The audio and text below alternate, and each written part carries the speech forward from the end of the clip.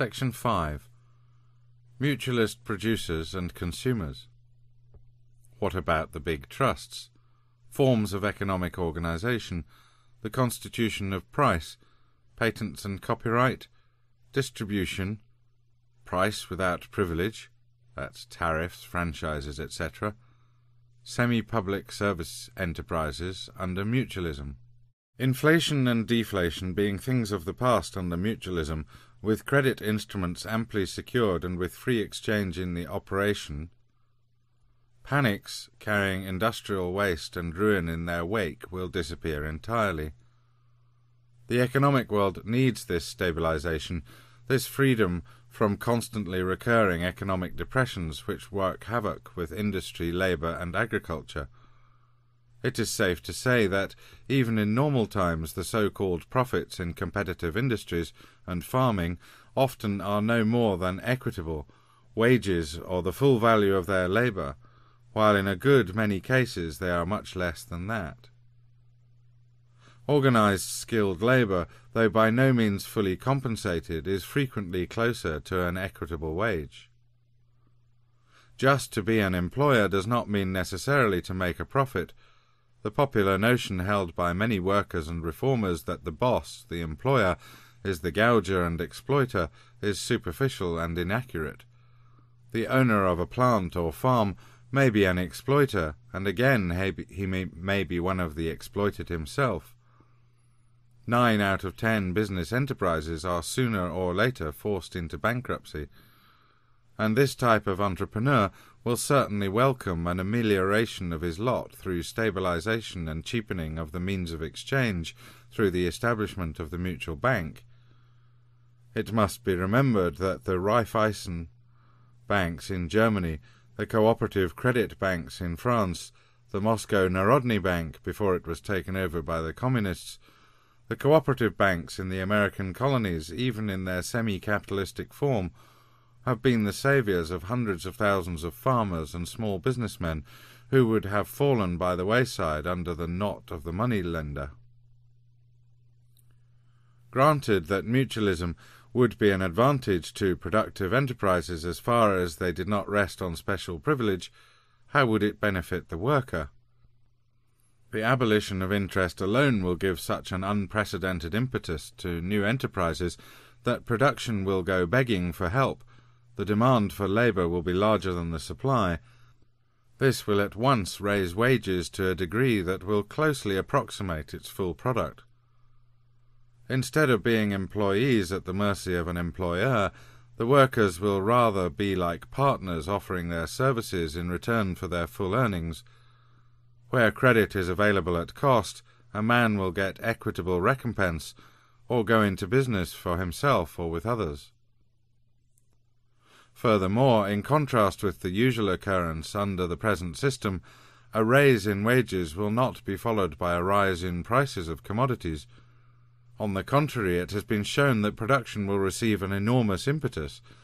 Instead of working with a constant loss of from 30 to 60 percent of capacity, as at the present time, see Waste in Industry issued by the Federated Engineering Societies of the United States, production will proceed nearly at top speed, and the more commodities are produced, the larger is the quantity of the various products that can be exchanged for each other, and the cheaper will all products be. If production doubles, prices are cut in half, not only of commodities for daily use, but, even more important, of tools, the means of production. In other words, an increase in quantity of goods produced under mutualism means lower prices, while labour itself will receive a more and more equitable compensation. And any additional perfection of productive processes will in a short time redound to the benefit of all those who do productive work, instead of enriching a protected few to the exclusion of the rest. To speak more concretely, present industry works only half time. Ten percent of the workers are idle all of the time, and in times of depression many more. King C. Gillette, in The People's Corporation, estimates the number of speculators and general non-producers at over three million in this country. Furthermore, Many who are working have insufficient capital and must use inadequate machines, tools, and appliances. On the other hand, under mutualism, free banking will bring the price of capital to zero and will stimulate industry to full time production. This will approximately double the present output. Employing the 10% of the workers who are at present idle all the time, transferring the non productive workers into productive industry, furnishing the capital needed to make all labour more efficient, with free land, free exchange of goods and of ideas, and finally cutting out the lag, leak, and friction of the present wasteful system, all this will increase production about four times at a conservative estimate. According to economists, productivity has really increased from 50 to 100 times since the advent of the machine age. Whatever the increase may become, all of it will go to those who do productive work or give exchangeable service. Regarding that part of production which has had undue advantage over its competitors and the public on account of its control of credit, that advantage simply will be gone. When we add to that the loss of tariff protection and of patent and copyright monopolies, plus abolition of absentee ownership of land and natural resources, there will be nothing to do for those pampered enterprises but to compete on an equal basis with the rest. In 1920, there were 290,000 manufacturing establishments in the United States, with a capital of over $20 billion and employing over 9 million people. Three and six tenths per cent of the above establishments employed one half of these workers and turned out two thirds of the product. The output of every one of these concerns was more than one million dollars annually. After subtracting the three and six tenths per cent from the total number of plants, there are still about 280,000 concerns which are now producing the other half of the total output. With the four great monopolies gone, these plants will be able to double, treble, or quadruple their output, as shown above. In other words, they can turn out the whole product of the United States and more. The big plants could be left out altogether and would hardly be missed. There is no power in these large concerns to crush their opponents when their special privileges are abolished. What about the big trusts? Take, for example, the largest of the big corporations, the United States Steel Corporation. Its history will be instructive. It was formed in 1901 by a combination of several hundred smaller companies. The physical value of the property put into the company was probably $200 million and included mines, smelters, mills, and railroads. There was issued in payment for the holdings of these companies over a billion dollars worth of stocks and bonds, a five-fold watering of the stock. The Carnegie Company at that time had an actual physical value of $34 million and received $490 million worth of securities in return, a modest increase of 1500%. And all this in one day, with no actual value having been added. This gigantic concern now owns one half the steel plants of this country and hundreds of thousands of acres of the richest coal and iron lands. It is protected by the government with a high tariff. When the tariff privilege was created in Henry Clay's time, that statesman said that a 35% tariff would be ample to protect the infant industries which needed coddling. When the United States Steel Corporation has become a colossus, it was shameless enough to ask for 45% tariff, and got it. Now note what happened to this giant that was enjoying privileges on every side. In 1902, a year after the Steel Trust was formed, its common stock sold at $25 a share. In 1905, no dividend was paid, and this stock went down to $8.43 a share. Here we see the one vulnerable spot, the Achilles heel of these inflated corporations, the passing of one year's dividend reduced the price of shares to one third of their value in this immense concern that was supposed to be all powerful. If the lack of dividends for one year only has such disastrous results, what would happen if dividends stopped entirely? Why, the mere prospect would immediately deflate the artificial value of the concern. It would squeeze all the water out of watered stock. In the transition, purely economic forces are seen to be at work. No force is necessary, no expropriation. However ill gotten any present gains may have been, they may be kept. But the stockholders will have to work their plants themselves if they want to get anything out of them. The land, the mines, all the resources of nature upon which no work has been expended by human hands will be free to the first actual users. It will be of no avail to point out that the government has given titles to the former owners for that part of the earth with the promise to protect them. Anyone who uses and occupies land will be protected in its possession more securely than ever, but he will not be able to exact tribute from others for the permission to use natural resources. Forms of economic organization. After this discussion of how mutualism will affect labourers, businessmen, and corporations, the question arises towards what particular form of economic organisation will mutualism tend? Though the predominant type will, probably, be the free association or cooperative, production will show all the various forms of organisation that have been developed and found useful by mankind. There will be anything from the extreme individualism of the hermit rancher to the extreme collectivism of the Doukhobors, from the single independent producer to the plant with hundreds of employees, from the individual who distributes his own products to the cooperative with millions of members. All forms of economic life will be represented in so far as they can stand up under the free competition of other firms. The exact opposite of competition is monopoly, Monopoly or privilege eliminates competition or at least puts it at a serious disadvantage. How can there be free competition when the government allows certain agents to monopolize money, unused land, patents, franchises to the disadvantage of the rest? Competition, to be what the word implies, demands absence of restriction in its operation. Wherever restriction enters as a factor, when privilege exists on one side, competition is limited on the other. Man is an egoistic as well as a social animal. He knows that in combining he can accomplish more than alone. Such association allows division of labour. It permits each man to select the work for which he is best fitted. The more mankind progresses, the more dependent are individuals upon one another, and the more mutual or reciprocal will be their relations.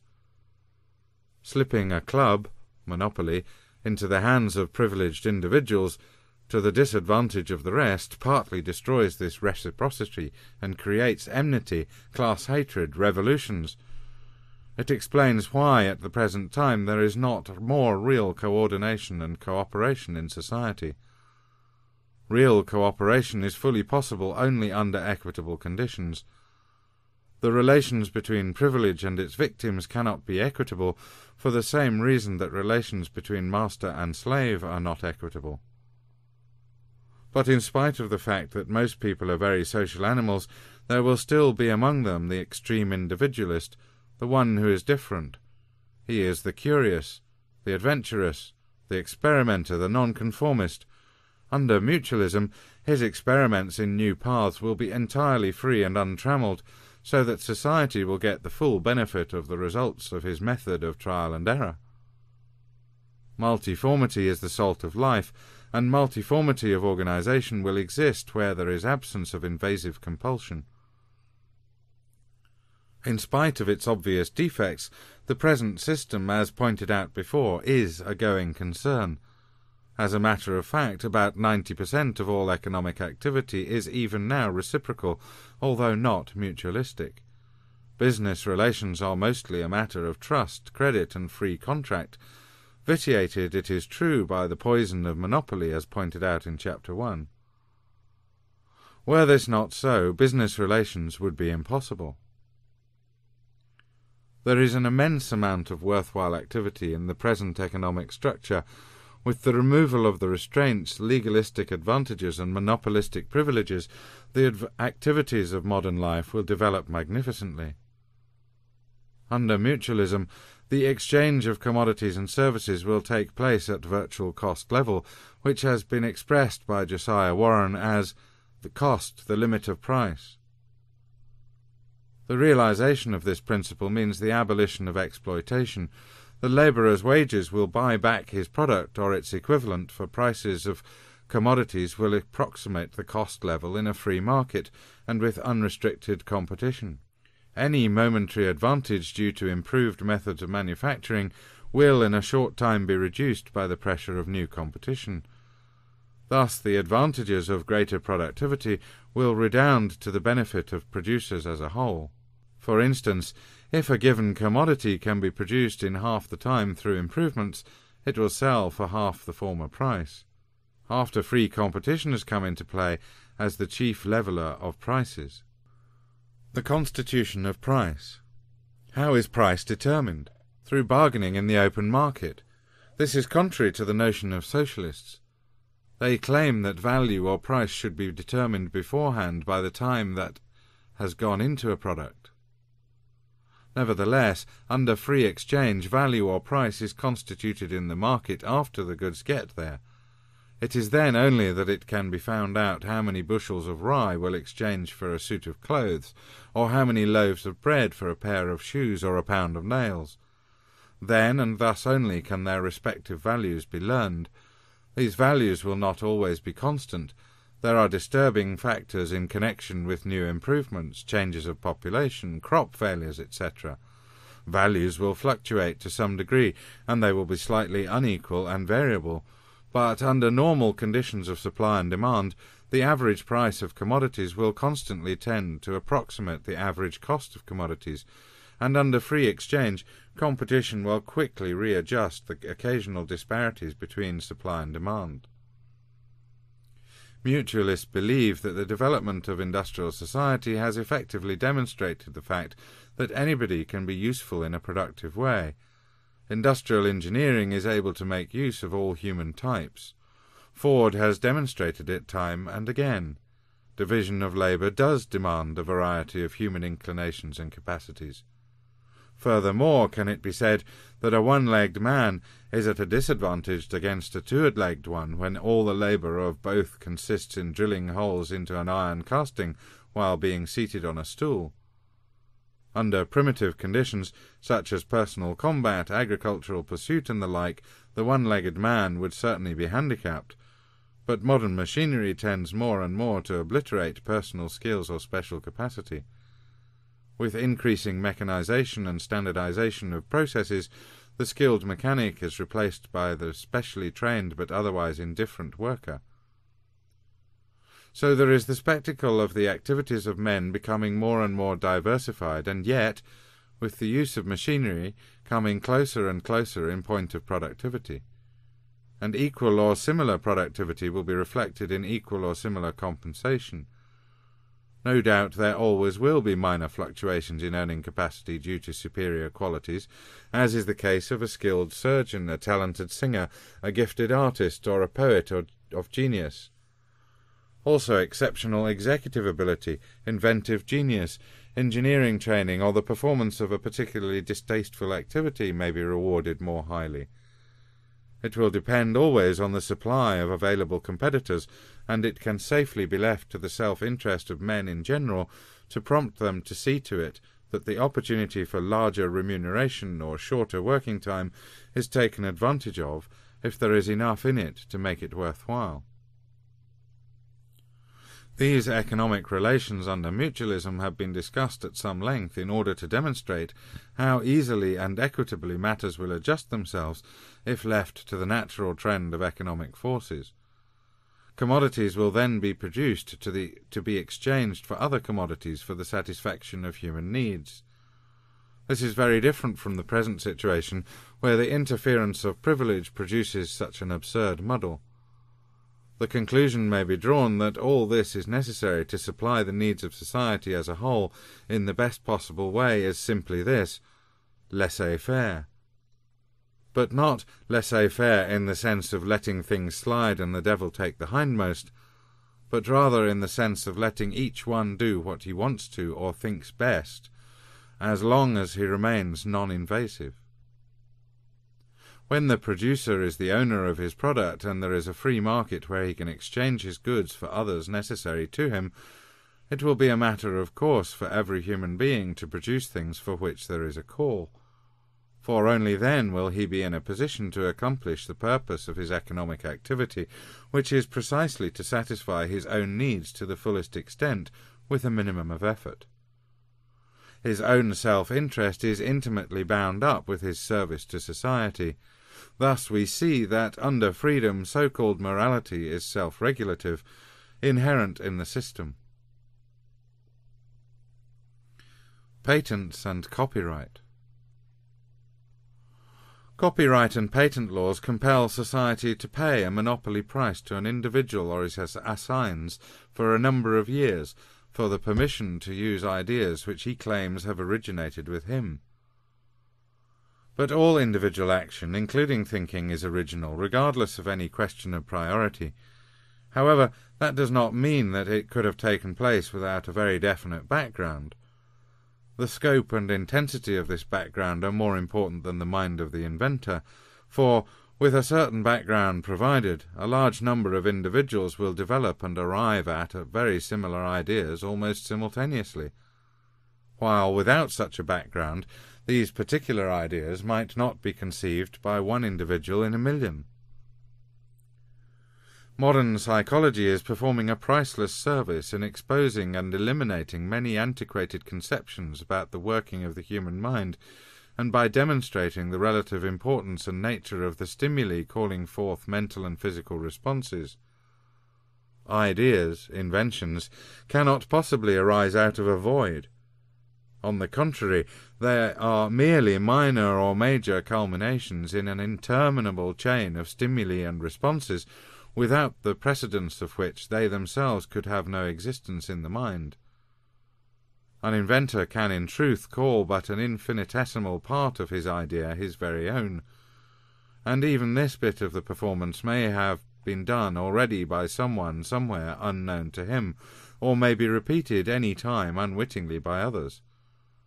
What presumption, then, to attempt to levy a tax upon all mankind for so minute a contribution to the world of ideas as any single individual can possibly make?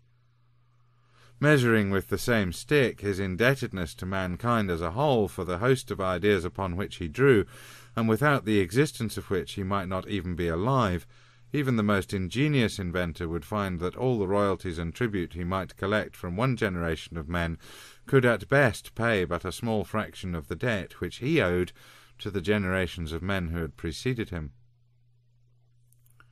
The granting of a patent or copyright to one individual denies the freedom of all other individuals to utilize the same facts, or to develop from them the same or similar ideas, and to employ such new ideas for their private gain. And such a prohibition violates the law of equal liberty no matter whether its duration is intended merely for a year or for all eternity, except that in the latter case the injustice would be so apparent that its own enormity would smother its observance. Let us suppose that perpetual patent and copyright had existed from the beginning of civilization, and that all inventors had claimed their rights. In that case there would be royalties on the wheels, the saw, the knife, the axe, the plough, various processes in every manufacture of money, paper, fire, glass, hinges, springs, locks, shoes, ink, the alphabet, musical notation, numbers, arithmetic, bookkeeping, etc., etc. In fact, progress would have been retarded so much that many of these things would not be utilized to the fullest extent today. But there is another serious objection to patents. Many readers will perhaps consider it the most important and most valid objection. It is the fact that the holder of important patents, who is usually not the inventor himself, the latter is usually disposed of quickly, with but a fraction of the expected royalties, and with no voice in the application of the invention, will not only be able to exact such high monopoly payments as to come within a small margin of eating up all the benefits made possible through the use of the patent, but that he will also be able to dominate and monopolize entire industries by the simple expedient of threatening to withhold the use of his patent unless his wishes are agreed to. Much of the power of the trusts would be gone if their monopoly rights to various patents were no longer protected by the state. Competition would have freer play, and prices on those commodities whose efficient production depends on the use of existing patents would drop beyond all expectation. The general quality of goods would improve, and the people at large would reap the benefits. It would be hard to estimate how many valuable patents have in the past been bought up merely to be destroyed or suppressed, since their adoption would have made obsolete and worthless certain large plants and costly equipment or big stocks of goods manufactured on the old principle. As to the author, it is not contended that he should not be compensated for all his efforts and for putting his talents or his genius to use for the benefit of other individuals. The author of the book has always the power to enforce his normal right of ownership by requiring that his book be published by subscription, a method which is not so infrequently resorted to even under legal copyright. The journalist is usually paid outright and does not depend on nor expect his compensation to consist of royalties.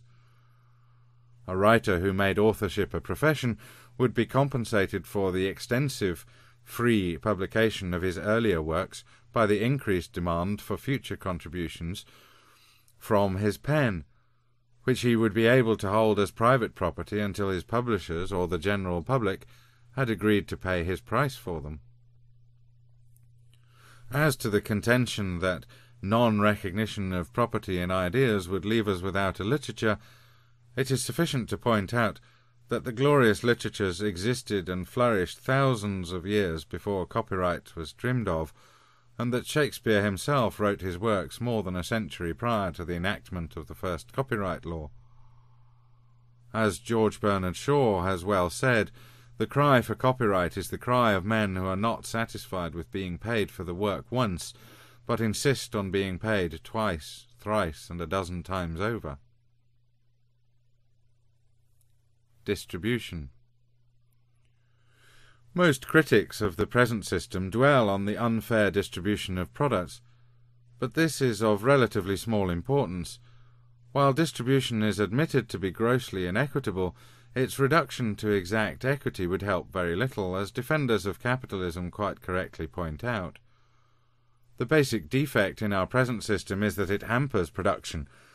While modern machinery and methods have made possible a productivity fifty times that of hand labour, the worker is not very much better off than the poverty stricken right of Burns' time. Compared with what could be produced if privileges did not interfere with economics, the present system is poor and most inefficient. If the problem were no more than the distribution of this meagre amount, it would mean very little benefit to each individual.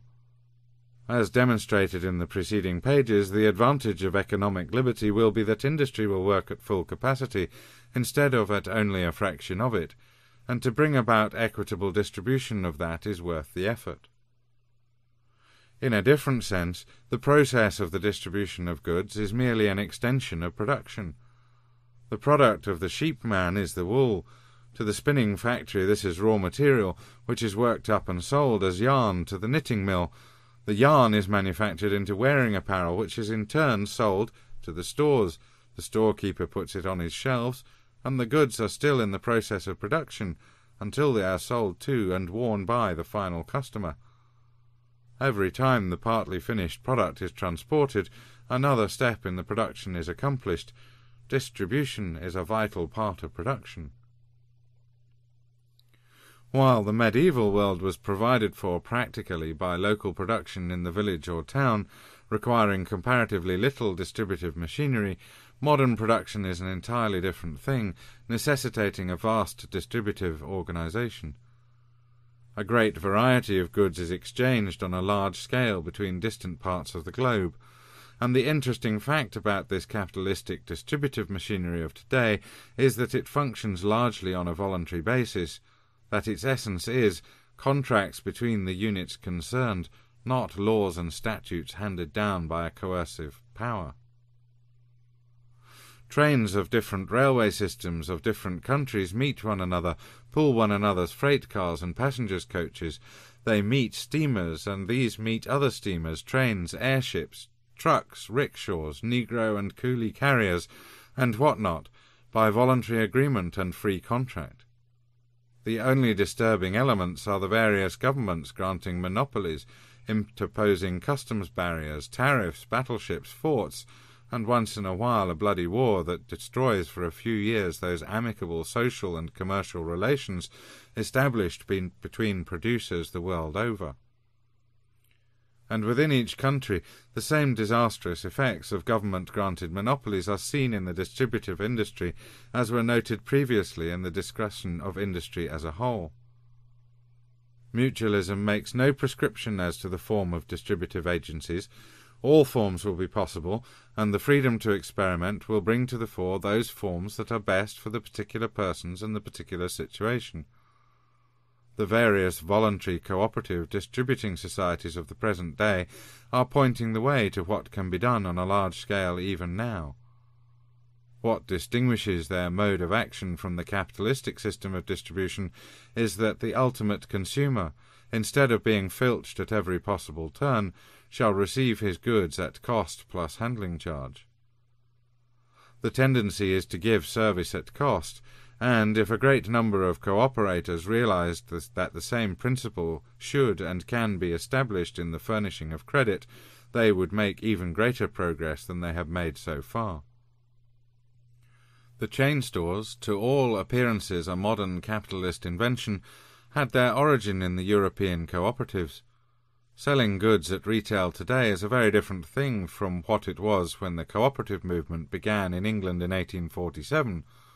The workers of that time were in a condition of abject poverty. They bought the poorest goods in painfully small quantities.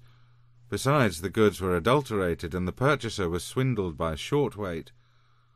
This fourfold disadvantage the cooperators sought to overcome and from the humblest beginning they built up a system of stores that came into successful competition with the gouging merchants. They at first had their single store, then branches in the same city, Rochdale, then stores in other cities. They started their own bakeries and, with a growing market, their other manufacturing establishments.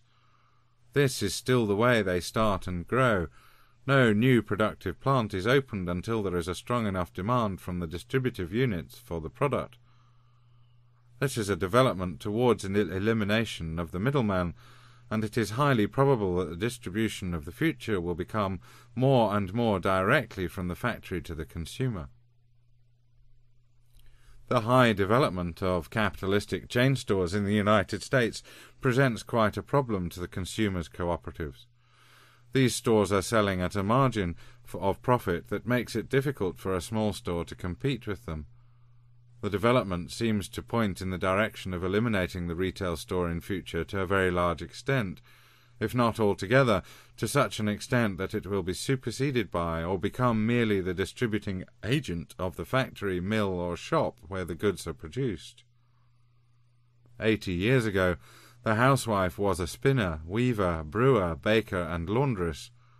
But she has abandoned one after another of these occupations, some fully and some partially, and perhaps in time they are all destined to go. The rest of the kitchen work may follow, whether it will be done in a central kitchen for a hundred families at a time, or by bringing the food to the home already cooked at mealtime, or by any of various other schemes, will depend entirely on the demand from a large enough number of people. Price without privilege, tariffs, franchises, etc. Every woman and man in the street has a general idea that the reason it is so hard to make both ends meet is because prices are too high. And prices are too high, especially the prices of the food and clothes and shoes and furniture that everybody eats and wears and uses.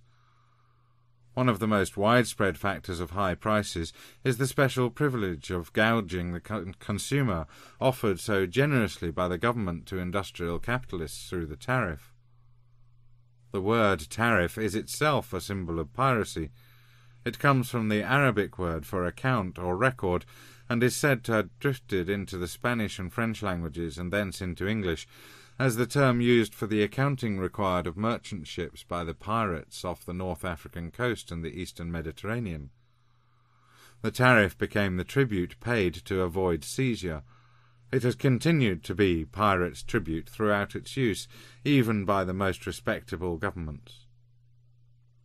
Mutualists are free traders because they believe in freedom, and not, like the Democratic Party, because they must have a political campaign issue or like the single taxers because they believe in collecting all taxes from the land alone. They are against the tariff tax for the same reason that they are against all other taxes, namely that all compulsory taxation contravenes the principle of equal liberty, and for the further reason that all the services and activities for which taxes are now collected could be more efficiently and more cheaply performed through individual enterprise and voluntary association.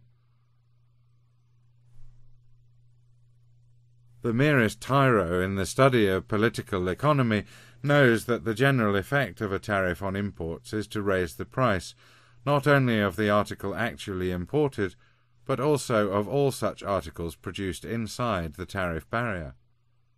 Normally, the domestic producer may add to the price of his product the actual duty that the importer must pay, and can pocket that as his extra profit.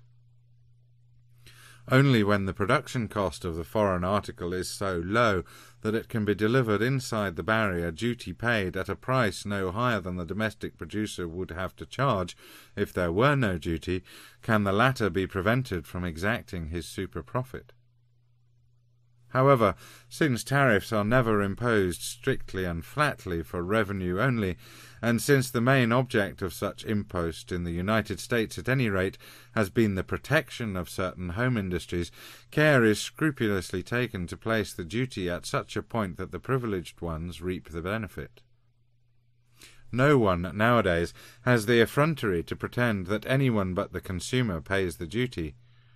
Consequently, every fraction of a cent that is exacted by the customs collector is reflected promptly and equally in the price of the taxed commodity, whether it be the imported or the domestic article. Not only that, but the general tendency is to pyramid the prices of tariff protected articles through the fact that a profit is charged upon the tariff at every exchange, each middleman through whose hands it passes taking its toll. What the effect on prices would be were the tariff completely abolished is easily pictured when all the factors controlling production costs in the various foreign countries are taken into consideration. Now, the tariff tax, like all the compulsorily levied exactions of government, is a direct violation of the principles of mutualism, and it is especially obnoxious because it makes no pretence at being equitable. It is one of the four major privileges which enable the beneficiaries thereof to exact tribute from the unprotected and unprivileged citizen. It is one of the mothers of monopoly, and many great trusts would find it impossible to wax fat without it. If one buys an ordinary union suit, more than one third of its price is there by reason of the tariff placed on foreign imports of the union suits. Most union suits bought are American made, so that the government itself did not get the tariff revenue, but the manufacturer of the union suit did. A fractional part he may have passed along to his workers as wages, but most of it he pocketed. In addition to this original profit to the manufacturer, there are compounded profits all along the line of distribution. On a $3 union suit, the jobber pays the $1 tariff profit and charges 20% on that. The wholesaler pays the $1.20 and will add another 20%, and so it goes down the line, profit made in every case on the cost and on the tariff surcharge permitted. And finally, the dealer charges the customer an extra $1.75 or $2 above what it would be charged if the tariff were not acting to continually inflate prices. There is a tariff charge in practically everything that one eats and wears, and it must be remembered that in every case the original tariff charge is compounded over and over as the goods are bought and sold. The same thing that has been said of union suits applies to sugar and to furniture, to safety razors and to men's suitings. The minimum tariff charged upon dutiable goods, most of the things in the household, is about 30%, and has been so under both Democratic and Republican administrations for 50 years. With the additions of compounded profit, the total paid easily amounts to 50% of the original and proper cost. With its removal, prices would immediately fall to their proper international competitive level. This, together with the vast increase in production effected under mutualism, would mean that the problem of making both ends meet would be solved. We recognize, however, that a premature removal of the tariff would give this country an unfavorable trade balance. An extended period of free trade in the United States would have a tendency to drain the gold into such countries as England and Germany, which, with their low priced labour, could flood this country with their cheaper imports, thus causing, under the present monopolistic system of credit, a scarcity of money here, and forcing this country to borrow the gold back again and pay interest for its use. The labourers in the unprotected industries, though gaining by the reduction of prices when the tariff was taken off, would have to face the competition of the labourers thrown out of employment in the industries which were formerly protected, again depressing wages to a lower level. So, while mutualists fully comprehend the outrageous boosting of prices by the tariff, they would not favour its general removal unless coupled with the inauguration of that free trade in banking which would make money and work abundant. We may be sure that Wherever we find legalized monopoly, there is exploitation of the consumer. The tariff exhibits it very clearly, but no less certain is the exploitation effected by franchise holders. It is worked like this. An enterprising attorney without clients has had time to get together a number of businessmen and raise the money for a local power plant. The businessmen have, in turn, induced politicians to grant a franchise. Immediately the franchise is granted, it has been calculated to be worth something in goodwill, and the goodwill in turn has been charged for as part of the capital on which a profit had to be made. The state itself has been compelled to curb some of the exorbitant charges made possible through franchise of public utilities. Little recognize itself is the cause of exploitation. But can the great enterprises necessary to the public service of our complex industrial civilization be developed and maintained without protective franchises and even government subsidy? They cannot pay a monopolistic profit without protection, but mutualists are quite sure that they can give service without it, and, more, that through the pressure of competition they will do so. Public utility corporations operating under exclusive franchises are not subject to direct competition. The rates they may charge for their services are usually fixed by the commissions or the legislative bodies granting the franchises. These rates are based on the prevailing rate of interest, and at present generally are 7% or more on valuations which, through inclusion of capitalized franchises, goodwill, and going concern value, are usually vastly greater than the cost of the physical property on which the rates are collected.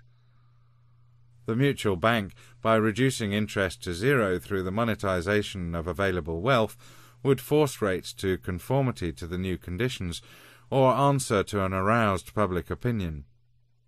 The public utility corporations thus would be shorn of their power to pilfer, and would eventually be transformed into organizations rendering service at cost.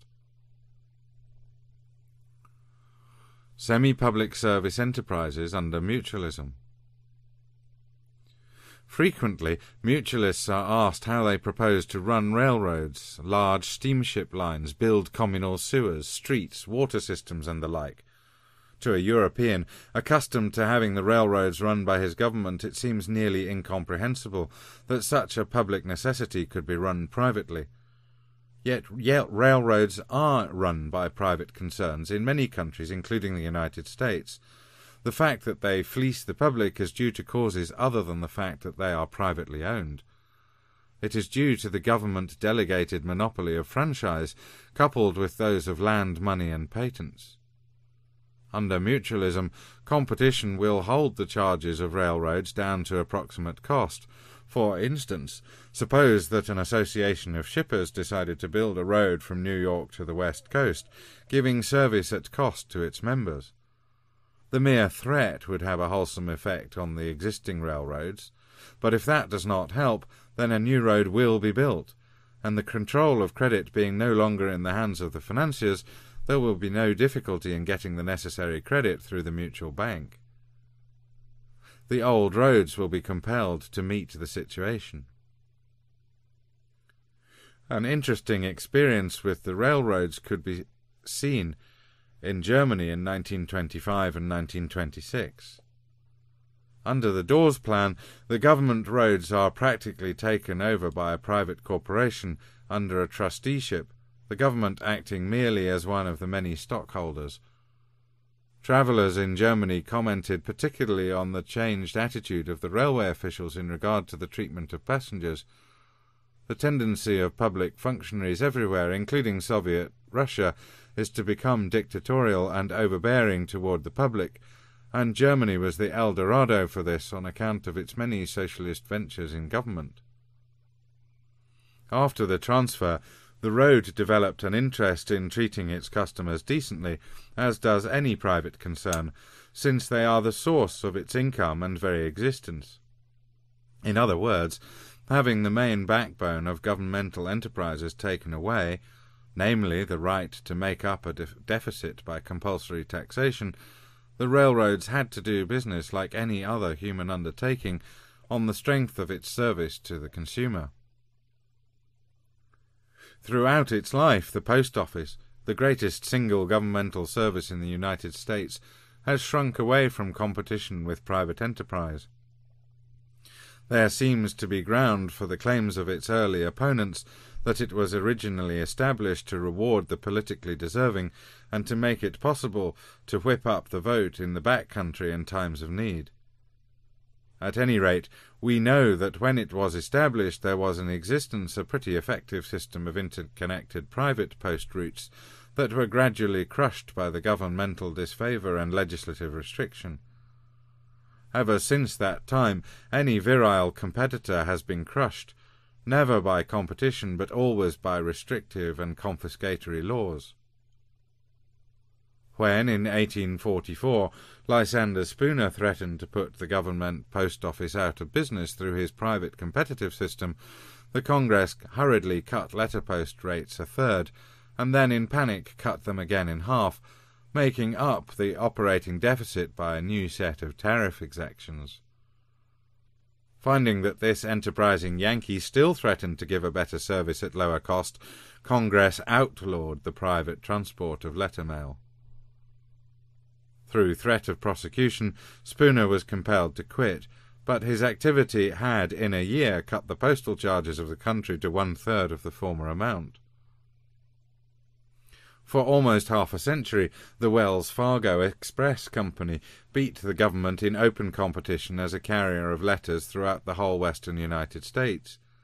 At first, the private company gave the better deal both as to cost and service, even though later the government confiscated part of the company's receipts through compelling it to pay full postage through a government employee never touched a letter it carried, it continued to hold much of its postal business for years until it was gradually overcome by heavily subsidized rural routes.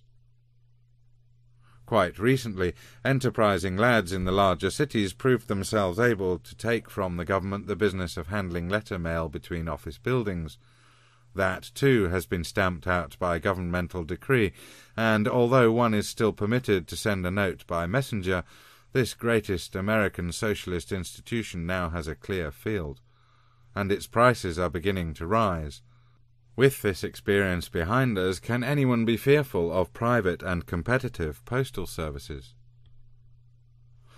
While it may be quite patent to most people, there are some who cannot visualize how streets and highways will be built by any other agency than that of government. Most persons can only imagine profit organizations on the one hand or compulsory organizations such as governments on the other as agencies for carrying on the business of society. Once they get the idea that non-profit organizations can take over those functions without gouging the public and also without enslaving the people, it is easy to show them how more involved problems can be taken care of. For this purpose, we may point to the various automobile clubs in this country and take as an example the Automobile Club of Southern California. This non-profit organization was started in 1900 by a few motorists with the object of mutual protection, the promotion of good highways, and the collection and dissemination of reliable road information. According to a recent pamphlet, more than 120,000 road signs have been erected and are being maintained by this club. It furnishes insurance to members without a profit. It employs experienced detectives to foil car theft and recover stolen automobiles. And the Highway Patrol Service is different from the patrol of the county speed cop. It is a boon to the motorists instead of a bane. It is courtesy extended to motorists in distress, whether members or non-members, and includes mechanical first aid, towing to the nearest garage, changing of tyres, furnishing of gasoline or oil at cost, giving free information, removing of glass from the highways, disentangling traffic jams, posting temporary signs, in short, aiding instead of harassing the motorist. Why are all these activities recounted? Because they show, in the first place, a non-profit organisation at work in the present time. Secondly, because they prove that such organisations may be public spirited and extend benefits to others who do not pay for them. And thirdly, because here is an organisation that might serve as a nucleus for a road league of the future. In Russia, the cooperative societies are engaged in road building and in organising and conducting postal service. In the United States, we may assume that when the time comes for the question to be solved, an association will be formed in any given district consisting of the Automobile Club, the Citizens Road League, the Chamber of Commerce, the Local Improvement Club, the Motor Express Association, etc. Anyone who has acquired the mental habit of demanding paternalism without having given much thought to the self-initiative of individuals and groups under freedom will find it difficult at first to think objectively on the solution proposed here, in reality, it is nothing more than a straight business proposition for the parties interested, and on a scale not any larger than any other undertakings of today, handled without the help of force. If roads are built by business organizations, it goes without saying that corruption, which is always connected with similar undertakings of governmental authorities, will be absent. In a similar way, it will be possible to handle other semi-public enterprises, sewers, water supplies, power plants, organization of traffic on the streets and in the air, or radio broadcasting. That is, through the organization of the interested. Take traffic, for example. This is admittedly not a police but an engineering problem. The Road League would build the streets with an eye to preventing congestion and dangerous crossings, the Automobile Club would have its officers directing traffic and calling people's attention to the observance of necessary rules, personally and through education campaigns. If it is kept in mind that in former times there were a great many activities that were supposed to be possible only under the leadership of authority or coercive regulation, which are now left with better results to the free contractual arrangements between individuals, it is easier to see that men are capable of learning to do by voluntary association in the future much that now seems difficult without the strong arm of government. The guilds of the Middle Ages prescribed very minutely and narrowly the status of the producers, preventing development by their inelastic laws, which were thought to be all for the best. The Church, after hundreds of years, has finally learned to realize the fact that men will not forever be coddled and hedged in by precepts and restrictions that have nothing but compulsion behind them. The human race is getting along famously with a greater amount of liberty in those matters, and the removal of restrictions has always developed and will always develop the ability to do without them.